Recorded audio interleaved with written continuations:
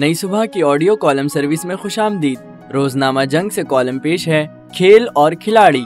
Column निगार हैं अमर जलील और आवाज़ है एहसन इकबाल की। अगर आप नई सुबह की ऑडियो लाइब्रेरी से मुस्तफ़ होना चाहते हैं या फिर हमारे साथ वॉल्टियर करना चाहते हैं तो विज़िट कीजिए हमारी website www.naisubha.org n a i s u b a h dot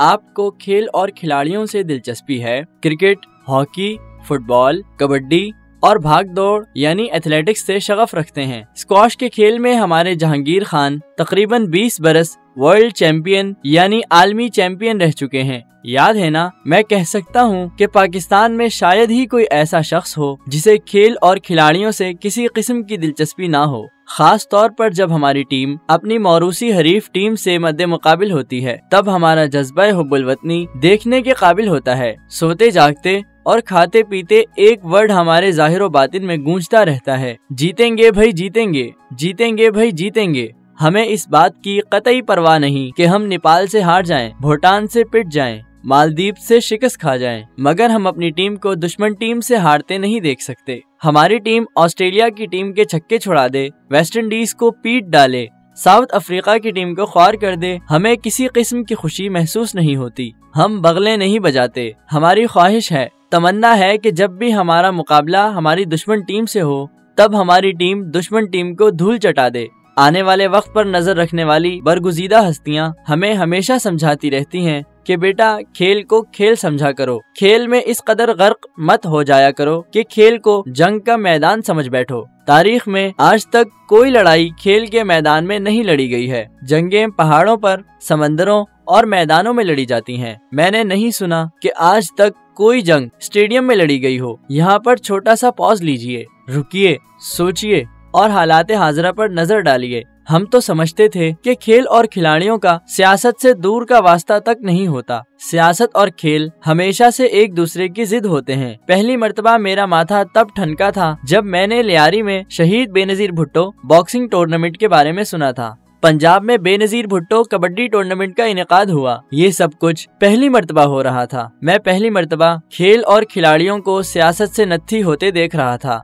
रिवाज है और रिवायत भी है कि तालीमी इदारों को सियासत दानों से जोड़ दिया जाता है। सिंध में एक आलीशान किडनी सेंटर है। इस इदारे को अब एक पीर साई का नाम दिया गया है। पीर जिलानी इंटरनेशनल किडनी सेंटर में पीर साई ने कभी इलाज नहीं करवाया। कभी Peer Sai, kidney international center और हॉस्पिटल में दाखिल नहीं हुए। मगर अब बैन अवी शोहरत रखने वाला किडनी सेंटर पीर साई के नाम से मंसूब है। सुना है कि पीर साई इलाज के लिए अक्सर बैरून मुल्क जाया करते थे और वहीं पर फौत हो गए थे। वल्लाह आलम बिस सवाब हम अपने मौजू खेल और खिलाड़ियों से हटकर एरों गैरों के किस्से ले बैठे हैं। मुल्क के बड़े बड़े तालीमी इदारे सियासतदानों ने अपने अपने नाम से मंसूब कर लिए हैं। किसी को कोई परवाह नहीं। फिर हम क्यों और किस लिए कुड़ते रहे? वो वक्त दूर नहीं, जब रेलगाड़ियाँ सरदारों, वडेरों और चौधरियों के नाम से चलने लगेंगी। रोड रास्ते, चौक और चौराहे, बाग और बागीचे। मुल्क के बेताज बादशाहों, सरदारों चौधरियों और वडेरों ने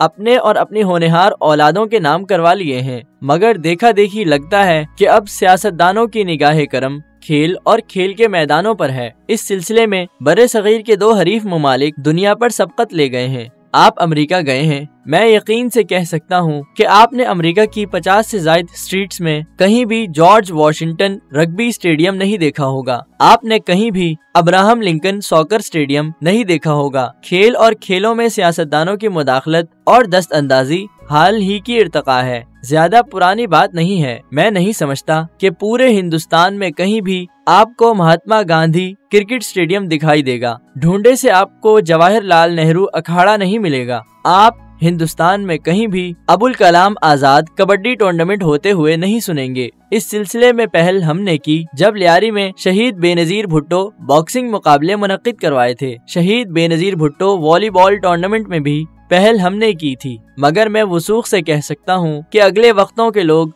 शाइस्ता महजब और आबरूदार होते थे। वह खुद को कभी खेलों और खेल के मैदानों से वाबस्ता होने नहीं देते थे। आपने कभी नहीं सुना होगा कि पाकिस्तान में बॉक्सिंग और कबड्डी टूर्नामेंट किसी ने कायदे आज़म और लियाकत अली खान के नामे नामी इसमें गिरामी से मंसूब किए हों। ये तो हाल ही की बात है कि हिंदुस्तान में दुनिया का सबसे बड़ा क्रिकेट स्टेडियम अहमदाबाद में बना है और वो स्टेडियम मोदी से वाबस्ता कर दिया गया है। ये तो वैसा ही है कि जैसे कराची में पुलिस स्टेशन सच्चल सरमस्त और शाह लतीफ भिटाई के नामों से मंसूब हैं। रोज़ाना अखबारों में सच्चल सरमस्त के इलाके में डाका पड़ता है। शाह लतीफ की हदूद से एक औरत को चार गुंडे अगवा करके अपने साथ ले जाते हैं। सच्चल सरमस्त और शाह लतीफ भिटाई देखते रह जाते हैं।